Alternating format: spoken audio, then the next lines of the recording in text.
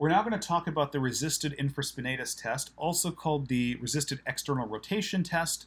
In reality, this is just an external rotation manual muscle test for the shoulder. And notice it's a part of two test item clusters, one for subacromial impingement syndrome and another for full thickness rotator cuff tear.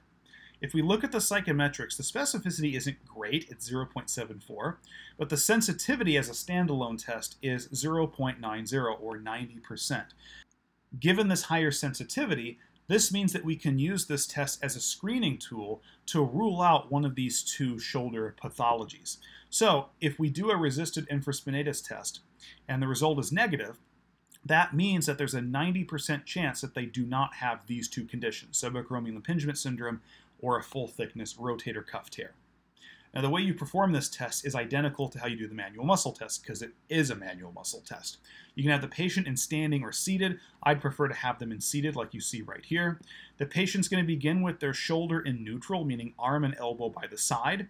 The elbow is going to be bent to 90 degrees like this, and their thumb is going to be face up and what I'm going to do as the practitioner is I'm going to apply a force on their forearm, trying to push their forearm inwards, and they're going to resist by trying to attempt to move the shoulder into external rotation. So here I am applying that inward force, and he's going to resist that by using his shoulder external rotators.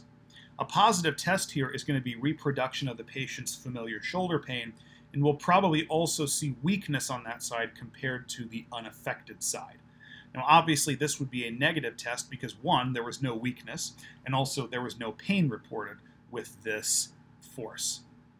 One more thing. When you're doing this test, make sure that the patient's arm and elbow stays against their side.